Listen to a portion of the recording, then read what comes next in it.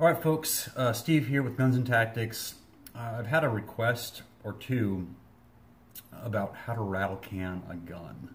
Uh, I enjoy rattle canning and spray painting firearms uh, that I don't mind getting spray painted, uh, knocked around, dirty. I, most of my guns uh, that I use, I use them. If they get banged up and they get paint on them, who cares? We painted them in the military. I can still paint them now. and also, I think it it kind of refreshes an old firearm, and for me personally, I like that. Uh, I like the fact that I can have a firearm that I haven't used in a long time, just sits in the safe potentially. I'm like, hey, why don't you just go throw a coat of paint on it, get it out to the range, knock the dust off of it, and you have kind of a brand new gun. And also I get bored. So today, what I want to do is I want to do a rattle can job on my ACR. Um, this ACR has been with me for quite some time. I don't use it as much as I probably should. I know there's a love-hate relationship out there with a lot of folks in ACRs. I personally like mine. Uh, I also have SCARs as well. But this is a fun little gun. I wanted to make sure that, uh, I don't know, just want to give a little refresh. So the first thing I did was I just took off the parts that I didn't want to paint. Uh, namely, an optic that I'll probably be putting on another gun at some point in time, and the backup iron sights. I don't care so much about the furniture, like the, the foregrip here, uh, the charging handle, uh, or the stock for that matter. This, this particular grip doesn't come off on the ACR, so that's gonna stay. Uh, you'll notice the bolt carrier um, assembly is still in there. I'll tape that off, and I'll also tape off the muzzle device. You don't have to, but I would recommend plugging the barrel itself. Uh, and I'm also going to put a magazine in and paint the magazine in the gun, uh, just so it, has got the same type of pattern. The colors I'm going to, I'm going to use today are going to be black with Rust-Oleum. Uh, I use this on a lot of my stuff. And then a gray. Now I was looking for a dark charcoal gray. This is as dark as I could find at like three different hardware stores.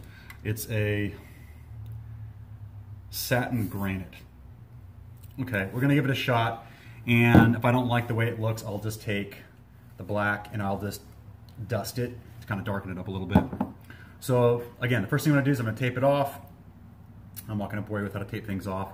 And then we'll pick back up uh, when I take it to the, uh, I, have a, I have a little garden shed that I like to hang stuff up in here and, and take it. Okay, so we're back. We're in the uh, shop right now. This is a small little shed I have that I keep garden equipment in. Um, what I've done is I hang them up with some wire.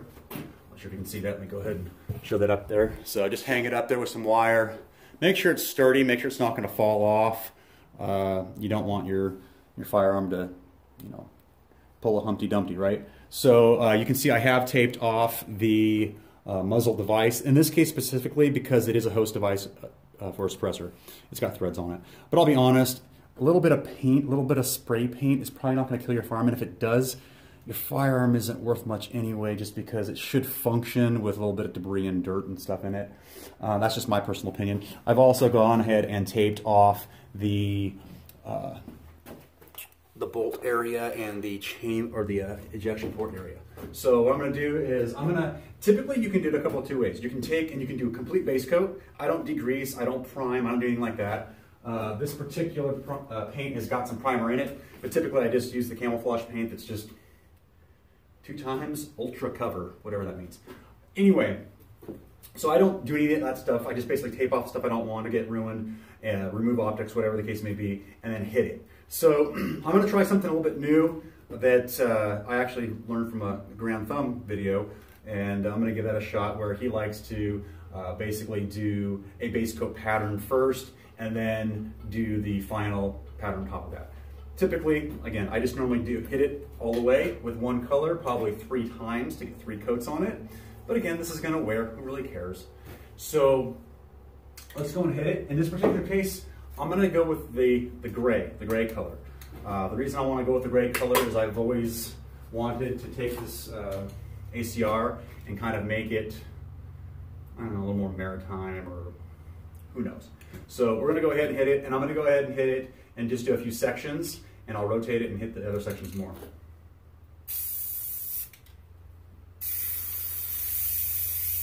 And I've already shaken up the can. It's coming out uh, a little chunky,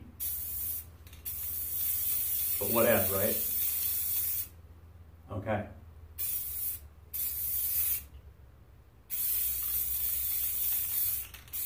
Again, if you're squeamish about painting a rifle, don't do it. Not that big of a deal though, okay? I'm gonna go ahead and hit this side. Trying to make it somewhat, I don't know, uniform. Get the magazine a little crazy. Now, the scheme I'm using is gonna be black and gray, so I don't really care so much about not getting the entire rifle, correct? So I'm just gonna kind of do the spots I wanna hit, at the top, get the bottom,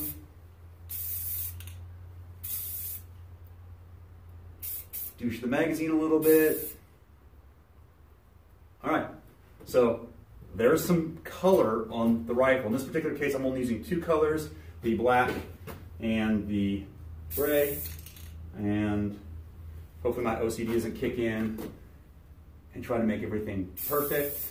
But I like to have, uh, I like to have the, the top and the bottom and the sides kind of wrap. So that's another reason why I do the magazine in there because I want, when I put the magazine in, A, it protects the portion of the magazine that goes into the rifle. It blocks the mag well and you get that nice uniform coat. So, uh, trying to think if there's anything else I want to talk about at this point in time. I think I'm just going to go ahead and leave that as is. Now, yes, the rifle's black, but I'm going to use some black paint and just hit that as well, just to give it a little more feel, a little more uh, equal texture.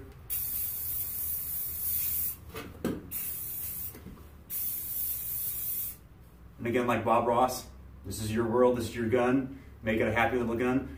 Do what you want to do. And guess what? You can always fix it. Right? Yeah. Get your paint on.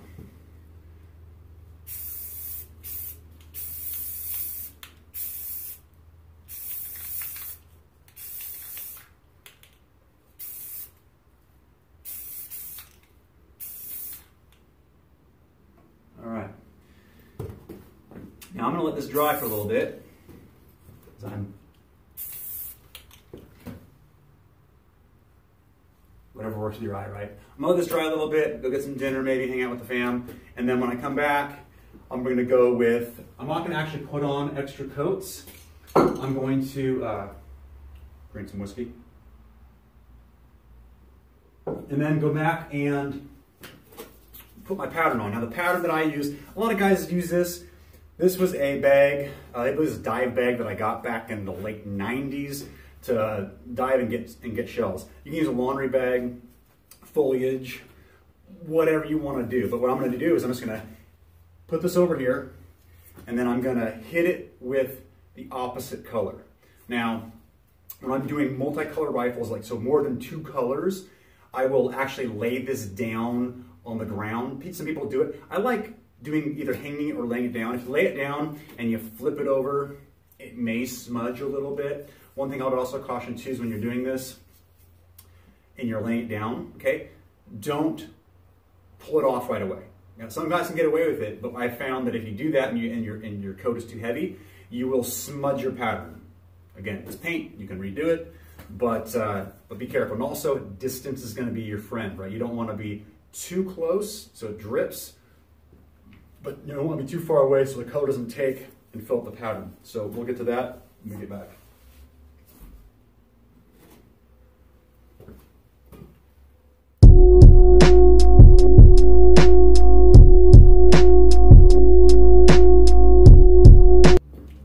All right, folks, we're back.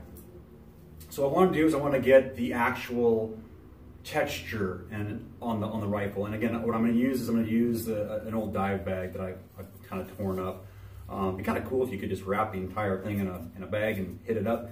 But, and I'm going to do it hanging. I've done it both hanging and laying down on a bench out here. But let's go and hang. The nice thing about these bags, one, this one's got a handle, and two, it's got the mesh, right? So I can, I can actually take this and put it to the wire and the bag kind of stays. Now, I'm gonna move this bag around somewhat, so I'm not too concerned about it, but what I wanna do is I wanna be able to hit it have it stay in one place for a little bit, and then remove it, okay? So, what I'm gonna do is I'm gonna start with the black, and I'm gonna hit this on the gray, just to give a little bit of contrast. So, I know you guys can't see this side, but we'll, we'll flip it around. Okay, so I'm gonna get the pattern, I'm gonna kind of hold the pattern like this, and I'm gonna hold it for a few minutes, not a minute, I'm sorry, a few seconds after I hit it up to get the color. I'm gonna hold the can uh, about 12 inches away.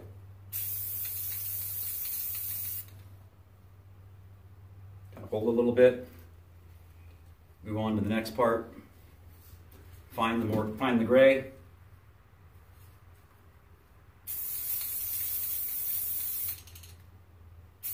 And again, this is your world, right? Do what you want. Slowly remove it. You kind of get the pattern that you're looking for. And if you don't, guess what? You can hit it again with another color. Okay? So right now I'm going to go ahead and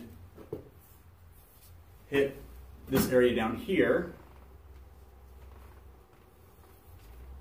Almost hold the can. Try to get it as close to, to it as possible. If you need to tilt it, guess what? You have a third hand right here with, with it being hooked on to the, uh, the rafter here. So I can just kind of look at it and, and hit it.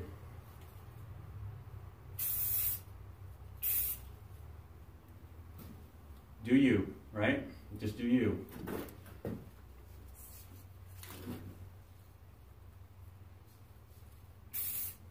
It doesn't have to be a lot, but if you, if you do too much, you'll end up getting almost a solid color. If that's what you're looking for, great. I'm looking to have more of a breakup, so let's go ahead and see if I can get a shot of this for you. I'm kind of losing light here. I'm gonna go ahead and hang that back up. Try to get a shot here. Hold it for a couple secs. Try not to drop it. You can see it's starting to leave a mark there, leave, leave the pattern. That's what we're looking for. So I'm gonna go ahead and do, I'm gonna wrap it.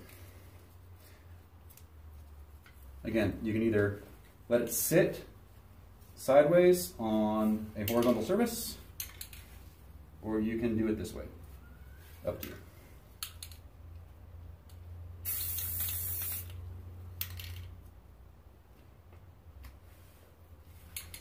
Okay, see how it leaves the pattern? Okay, hopefully you can see that.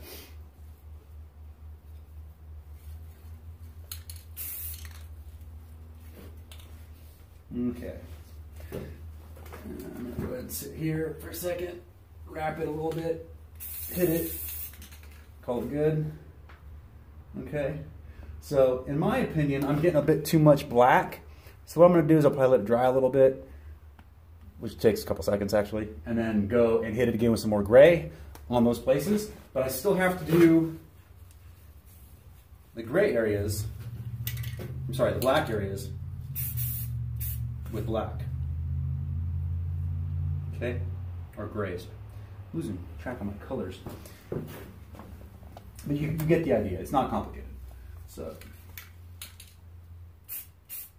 and you can just hit it up with little squirts do you?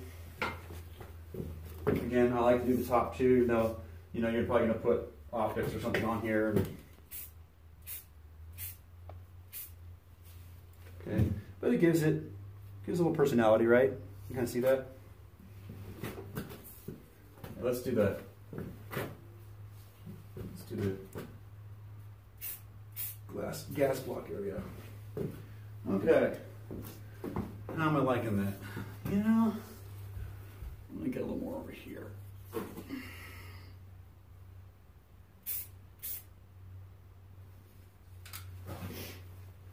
right, it's coming what I'm looking for. I'm gonna move to gray now. And this is boring you, you can just fast forward and you can see the end, ending product, the end product, if I can speak. I probably need some more whiskey. All right, painting and drinking, right? This is honestly the only kind of painting I actually enjoy.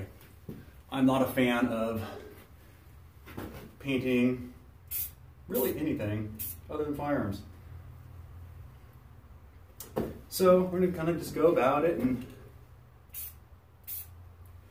do a little shot here and a little shot there and another shot here.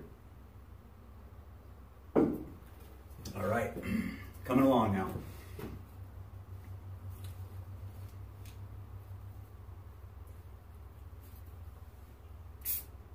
And sometimes I like just to do, you can either do strokes or you can do squirts. That was really bad, I'm sorry. either way, you're gonna get a different result, right? So if you can hit up little individual parts or you can do general broader areas. So let's go here, let's go through here and hit this area up.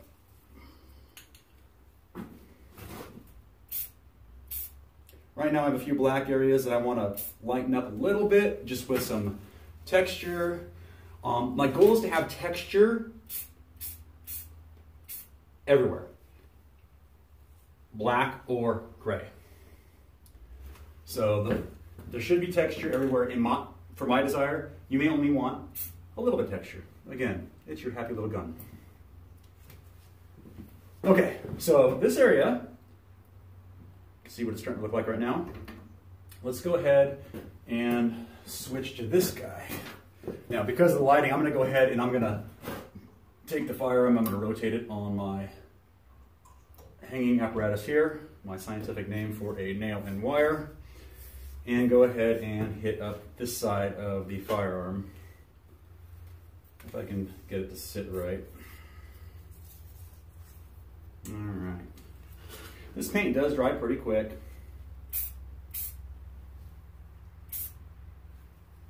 That looks sweet. And that's the cool thing about, you know, in the military what we do is, you know, back in the day when we were wearing God's plaid, we would paint our guns whatever color we wanted, honestly. Um, armors didn't really like it so much. That being said, uh, whatever environment was appropriate to where you're operating in, do that, you know. I live in a wooded area. So I am going with, uh, most of my guns have a wooded, pat pattern on them, whether it's, you know, FDE and foliage green and, you know, dark earth. Um, this particular gun is going to be different. I just wanted to do this. This is more of an urban gun. But again, do what you want.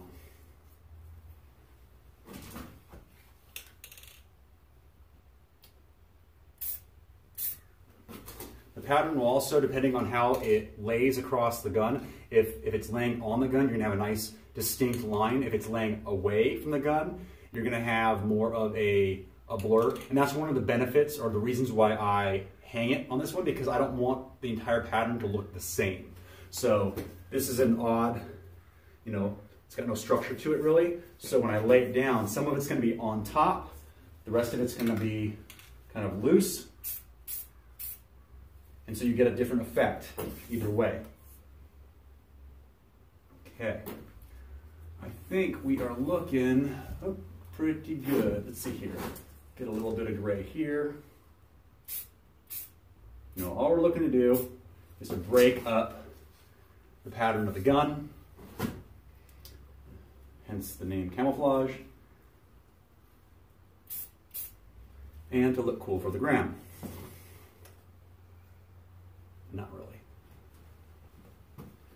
So, all right, I'm, gonna, I'm pretty happy with the sides. I'm gonna go, um, I'll even do the front of the magazine, hit it up, found, found, found, done. And I will do, how's my grip look?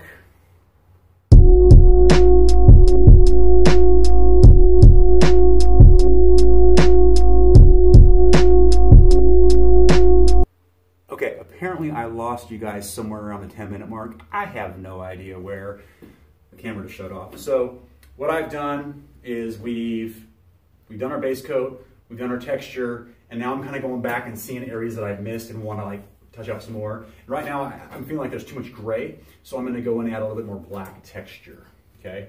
And what I was saying is,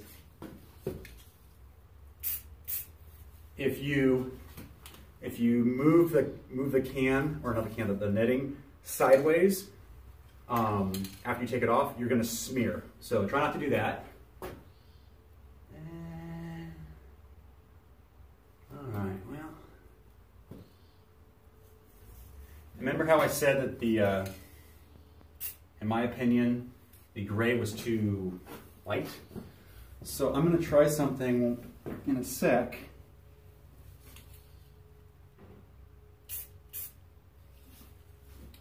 To soften the gray.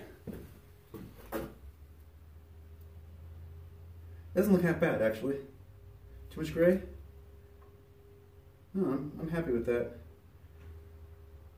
All right, so uh, with the black, I'm going to go and mist the gun. So the point of that is just to just to dull it a little bit so it's not so bright. I honestly I wanted a more charcoal spray paint. This is the closest I get far. So I'm gonna stand pretty far back. Don't spray the camera. And and dull down the pattern on the gun. In the gray areas.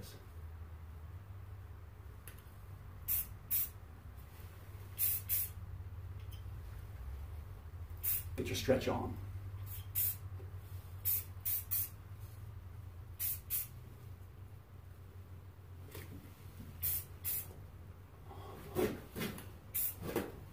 And again, the light is over here, so I'm gonna go ahead and rotate the rifle and do the same thing on this side.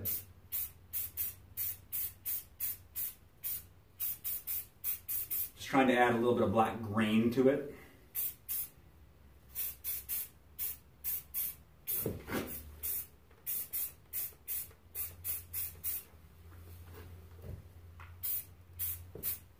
Guess what? If I change my mind tomorrow, I can come back and I can redo it. This isn't hard, guys and gals.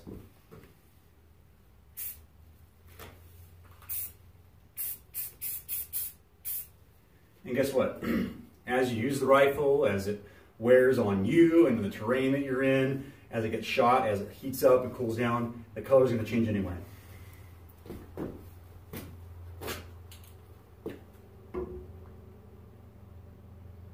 All right. All right, kiddos. I think that's good for now. I'll let it dry and sit, and I will come back and I'll put it together and show you the final product.